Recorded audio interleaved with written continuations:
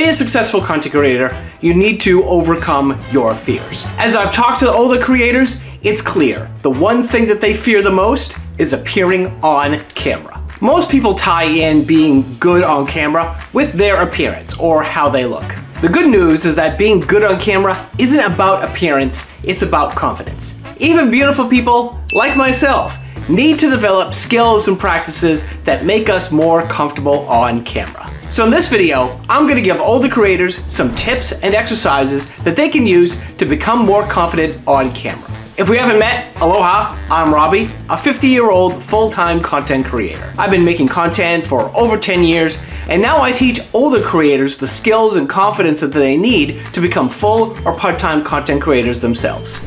Before we conquer being confident on camera, we need to talk about why you're scared of being on the camera in the first place. Unless you're a public speaker, or an actor, or a CEO, you probably don't have experience talking in front of people. When the world shut down and we were having all of our meetings on screen, you probably started to recognize the importance of being good on camera. How many Zoom meetings did you sleep through? Everybody who's ever been in front of a camera is exactly where you are right now freaking terrified. But when you take away the lens, we're pretty comfortable chatting with people face to face. What is it about the camera lens that makes us freeze up? In my experience, it comes from the human fears of being shamed, mocked, embarrassed, or being picked on in front of other people.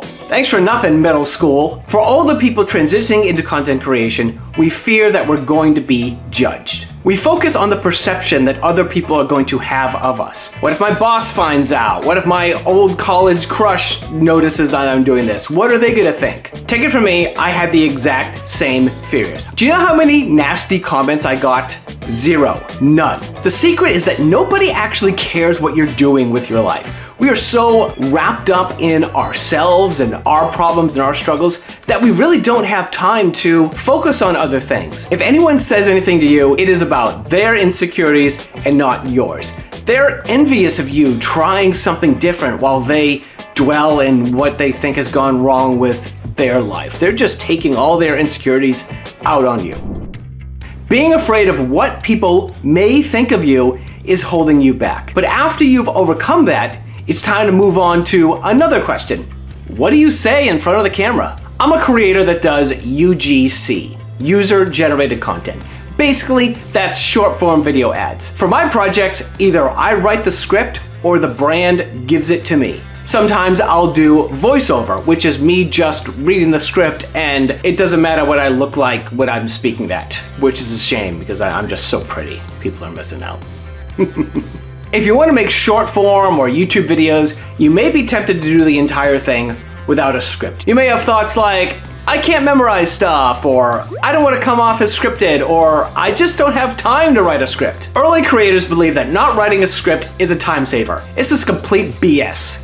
Not writing a script makes the entire process longer. When you wing it, you don't have your thoughts collected, and then you may run out of things to say. You might forget something, and all of that rambling is something you have to edit out, and that takes time. At the very least, write an outline. This is a bullet pointed list of what you want to say. I write entire scripts. Sometimes I don't say them word for word because what I write down and what I say is sometimes completely different.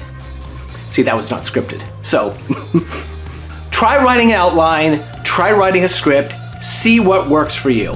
But now that you know what you're going to say, how do you say it? When I see new creators get behind the camera, there's kind of one or two outcomes that happen. Hi, I'm Robbie and welcome to my channel.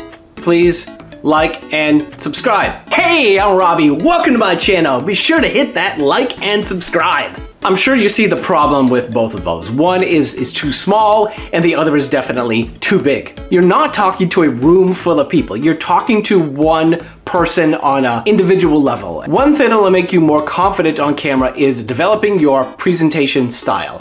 And that starts with body language. Keeping your hands by your side like this is the worst. You feel stiff. Think of yourself as a conductor and you're moving your hands in time with your words. Expressing things with your hands keeps the viewer engaged and you automatically feel more present and focused in talking to the camera. Those movements help you calm your body and make you come off more energetic and confident. So now you know what to say and how to use your body to display that confidence. There's just one more thing. Hitting record and speaking into the lens. I am not gonna sugarcoat this. This is terrifying. We're used to reading facial expressions. When we talk to somebody, we see if they understand or don't understand what we're talking about. With a lens, it's just a piece of glass that gives you no information or feedback whatsoever. A lot of people say that you should speak to the lens like it's a friend or like you're talking to somebody on FaceTime. That has never worked for me. You don't really want to sound natural because the natural is full of awkward pauses like this that my poor editor has to cut out constantly. Sorry. I describe my on-camera style as an enthusiastic hobbyist. My mindset is that I'm sharing a hobby or part of my collection that I'm really proud of. Here's an example. People like to collect things. I'm big into Funko Pops and NHL jerseys. The big thing I am into is, is hockey pucks and let me tell you the story of my prized possession. Many years ago, I found myself sitting next to the Anaheim Ducks bench right on the glass. During the game, there was a stoppage because a puck went into the bench. I clearly remember looking at the assistant trainer, picking up that puck, looking over to the head trainer like, what should I do with this? I clearly remember that trainer pointing at me. The other trainer flipped this puck over the, the glass. Yeah, I have a game used hockey puck, which is thousands of baseball games I've been to, and I've never got any anywhere close to getting a foul ball or a home run. Having a game used puck by my favorite team is this is something I, I will always treasure. Did you see how easy that flowed? I wasn't presentery, I wasn't I wasn't on a FaceTime call. I was generally talking about something that I was passionate about. This is something you need to practice. Sit down in front of a camera, don't turn it on, and just start talking about something that you have in your collection, whatever you collect. You can watch as many YouTube videos on speaking or courses on speaking. None of that is going to matter unless you commit to sitting down and practicing in front of the camera and doing it again and again. Just one of these tips is going to vastly improve your on-camera confidence. But what if you do get a nasty comment by somebody? How do you deal with that? Click on this video to learn how to deal with the haters. Haters.